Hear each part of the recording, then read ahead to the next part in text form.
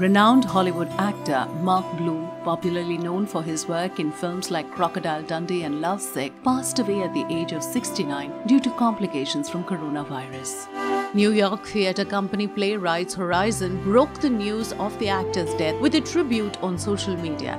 They wrote, with love and heavy hearts, Playwrights Horizons pays tribute to Mark Blum, a dear, long-time friend and a consummate artist who passed this week. Thank you, Mark, for all you brought to our theatre and theatres and audiences across the world. We miss you.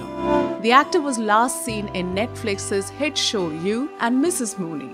However, he became a prominent star back in the 80s and later went on to do TV series such as Billions, Almost Family, and Succession.